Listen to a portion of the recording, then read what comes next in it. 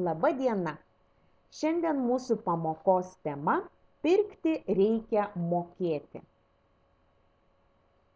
Mokysimės ugdyti sąmoningą ir atsakingą pirkėją. Stengsimės suvokti pinigų vertę ir bandysime juos taupyti.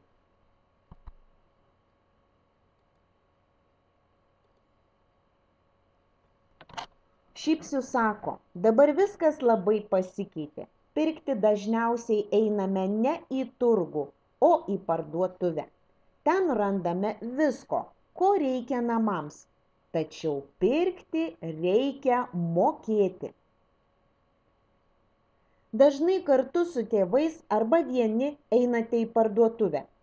Ar visuomet gerai žinote, ko pirksite? Ar susidarote pirkinių sąrašą. Atlikite klasėje apklausą, susumuokite atsakymus ir padarykite išvadas. Paklausinėkite, kiek vaikų, kiek jūsų draugų sudaro pirkinių sąrašą ir kiek nesudaro pirkinių sąrašo. Ar užsinorėję kokio daikto pamastote, gal be jo galima apseiti? Atlikite klasėje apklausą, susumuokite atsakymus ir padarykite išvadas. Ar būtinai reikia daiktą pirkti, o gal jį galima pasidaryti patiems, juk būtų daug smagiau ir įdomiau. Atlikite klasėje apklausą, kas iš jūsų esate ką nors pasidaręs savo rankomis. Pasidalykite sumanimais ir patyrimu. Na štai, Joris pasidarė lanką ir strėlės iš lasdyno stiebo ir virvės. Augustė muilo burbulų putyklę iš praskiesto indų ploviklio ir rūgio šiaudo. Kasparas su Elze pasidarė šaškes. Lentą nusibražė patys Šaškes atstojo baltos ir juodos pupelės. Labai svarbu suprasti, prieš išleisdamas pinigus pagalvok, kaip sunkiai jie yra uždirbti. Jų švaistyti nevalia.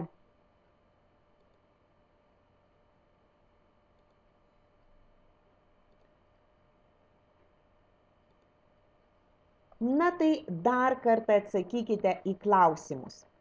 Ar mokate taupiai pirkti? Ar mokate apskaičiuoti gražą?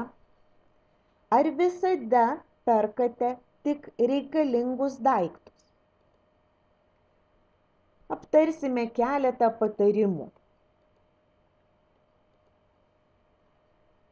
Pirkinių sąrašas ne tik padeda sutaupyti laiką apsiperkant, bet ir atsisakyti nereikalingų pagundų, kurioms taikoma didelė nuolaida. Tas stebuklingas žodis akcija. Taip galima prisipirkti daug nereikalingų daiktų. 24 valandos. Laikykitės 24 valandų taisyklės prieš įsigydami neplanuotą brangų pirkinį bent parą pagalvokite. Tikėtina, jog pirmosioms emocijoms aprimus pirkinys nebeatrodys toks reikalingas. Abejonės. Jei abejojate, ar verta pirkti naują daiktą, dažniausiai teisingas sprendimas nepirkti. Abejonės tik patvirtina, kad tas daiktas jums nėra būtinas arba netinka. Nepaisydami mažų kainų visuomet galvokite apie pirkinio panaudojimą. Ar tikrai reikia prisipirkti, kad ir nebrangių, tačiau niekur nenaudojamų daiktų. Tai, kas pigu, nebūtinai reikalinga ir naudinga. Aš visada stengiuosi laikytis šių taisyklių.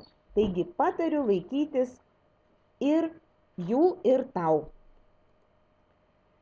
O dabar keliaudami kartu su smailyte ir graužyte pasitikrinsite, kaip mokate skaičiuoti pinigus, taupyti ir protingai išleisti santaupas.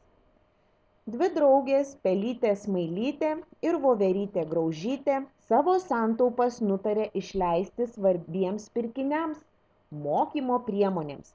Iškratė taupyklės ir patraukė į miško parduotuvę. Draugės apžiūrinėjo prekes, domėjosi jų kainomis. Kiek litų turi pelytė smailytė? Suskaičiuok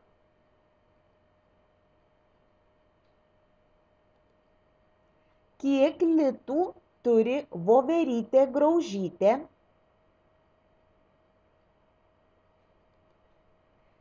Keliais litais daugiau turi pelytė smailytė.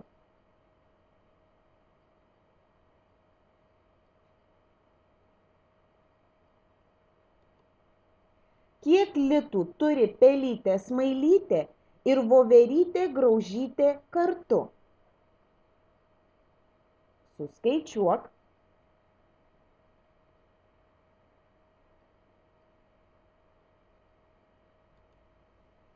Pelytei smailytei reikėtų naujos kuprinės.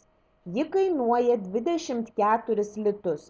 Smailytė turi 20 litų.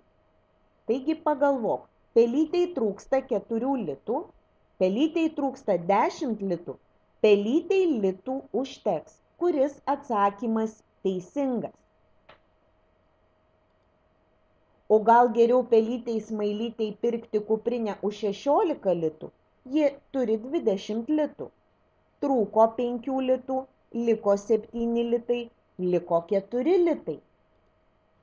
Voverytė turi 18 litų. Ji norėtų pirkti penalą už 8 litus ir spalvotus pieštukus už 6 litus liktų 8 litai, trūktų 10 litų, liktų 4 litai.